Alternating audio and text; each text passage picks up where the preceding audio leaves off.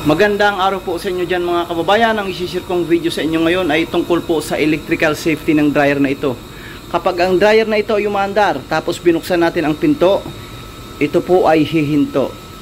Ganon din dito sa compartment ng ating filter. Kapag binuksan ko ito, ganito, kailangan ang dryer natin ay hihinto. Subukan po natin.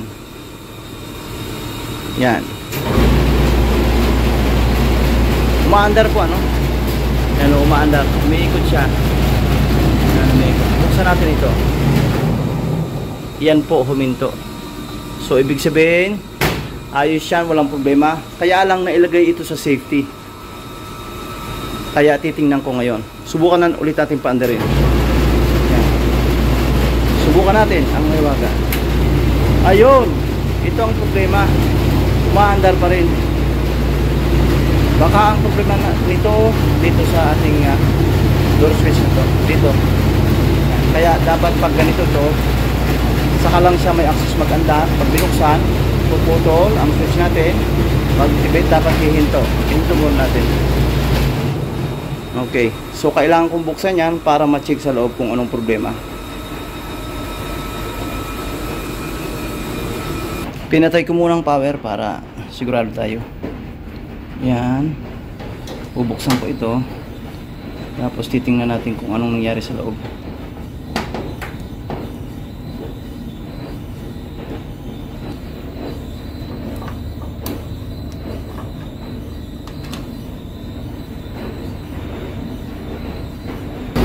Ito na po yung ating door switch. Testingin natin. So naka-release na ito. Ito yung nasusunod ng ating pintuan. Tapos uh, naka-release na. So open ang ating tester. Kapag uh, sinara natin ang pinto, ito po ay gagalaw. Ganito yan. Matutulak ito. Tapos ang connection natin ay open. Ang problema natin, kapag nirelease ang pinto, nakaganyan siya.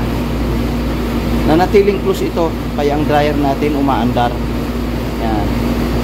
Okay naman ang ating uh, micro switch okay naman siguro naharangan lang po ito ng wire naharangan lang ito ng wire kakabit ko na po para malaman natin at ayusin natin ang wire.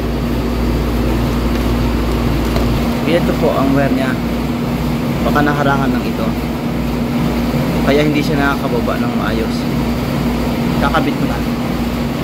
Para matisting dalawa lang naman ito kasi micro switch lang naman. Balintadan walang problema. Bandang taas ko nilagay yung ano yung wires para hindi marangan yan. O bumabalik na siya na maayos inaasahan ko na okay na ito. Yan o ayos na yan. Lagyan pa natin ng screw.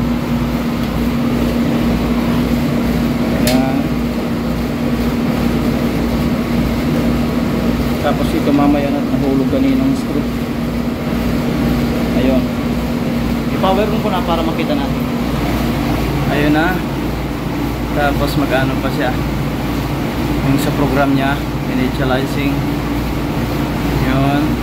tapos 20 okay. And then that's it. Sara natin. Buksan natin. Paandarin ko na po. Para makita natin kung gagana na. Ayun. Gumagana siya ulit. Ulitin natin. Buksan natin itong compartment. Namatay. Namatay ang ano niya namatay ang dryer natin hindi umandar. Makita nyo yan hindi umandar. Tapos ito naman pinto ang titistingin natin bandar natin. Abangan. Ayun gumana na po. So ang problema natin dyan hindi naman ang micro switch kundi palagay ko yung ano yung wire. Baka sumabit doon. Kaya pagbaba niya may napapatungan siya. Sa halip mabumagsak yung pinakita ko sa kanya pag tinanggal natin ang ating pinto kasi yun ay sinusundot dito yung protruding na to.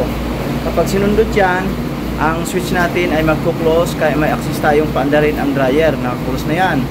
Kapag bini at binuksan naman natin yan po ay bababa. Nakita nyo kanina. Siguro pagbaba noon may nakakalang na wire kaya hindi nag-open ang ating micro switch.